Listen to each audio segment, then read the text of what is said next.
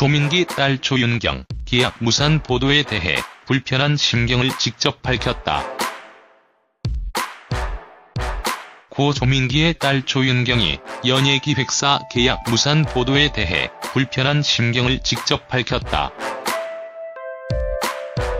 조윤경은 9일 자신의 SNS에 오늘 방송에 나와 기사화됐던 기획사 계약에 관한 글입니다라며 장문의 글을 올렸다. 앞서 8일 한종편 연예 프로그램에선 조윤경이 올 초 한 연예기획사와 계약하려 했지만 조민기 미투 관련 사건으로 무산됐다는 주장이 소개됐다. 이에 대해 조윤경은 이렇게 다시 글을 쓰게 된 이유는 제가 오늘 하루아침에 연예인 지망생이 되어 있었기 때문이라며 출처 불분명한 이야기를 통해 저는 하루아침에 TV에 나오고 싶어 했지만 무산된 사람이 되어 있었다라고 적었다. 이어 조윤경은 사실이 아닌 도 넘은 댓글과 글들에 대해서는 대처할 것이라고 덧붙였다. 다음은 고조민기 딸 조윤경 글 전문.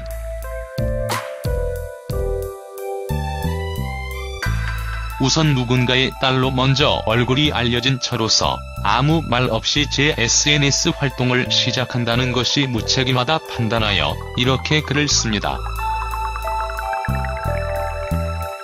저로 인해 다시금 좋지 못한 기억이 떠오르거나 다시 부정적으로 회자될 피해자분들을 위해 저는 제 계정을 비공개로 돌렸습니다. 그리고 원래 하던 학업에 집중하고 내년에 가게 될 대학원 박사 과정을 위해 성실히 준비해가고 있었습니다. 그러나 이렇게 다시 글을 쓰게 된 이유는 제가 오늘 하루아침에 연예인 지망생이 되어 있었기 때문입니다. 저의 꿈은 화장품을 만드는 사람은 맞습니다. 과학적으로 깊이 있는 공부를 통해 피부에 관련된 질병까지 치료할 수 있는 화장품이 만들고 싶었습니다. 그러나 출처 불분명한 이야기를 통해 저는 하루아침에 TV에 나오고 싶어 했지만 무산된 사람이 되어 있었습니다.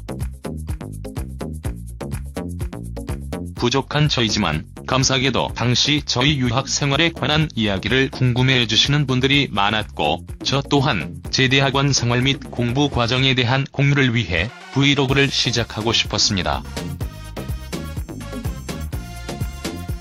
하지만 제가 영상 편집 기술이 있는 것도 아니고 센스도 부족하기 때문에 관련 기획사와 몇 번의 contact가 있었던 것은 사실이었습니다.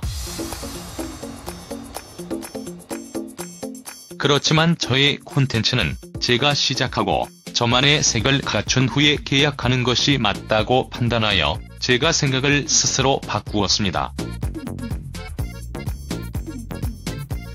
저를 향한 또 저희 가족을 향한 쓴 소리들 모두 읽어보고 저 또한 이를 통해 많은 것들을 다시 생각해보았습니다.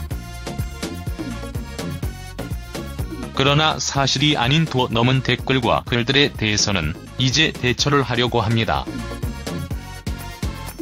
마지막으로 이 글을 통해 또다시 이야기가 나오고 상처를 받으실 분들에게도 정말 진심으로 사과드립니다.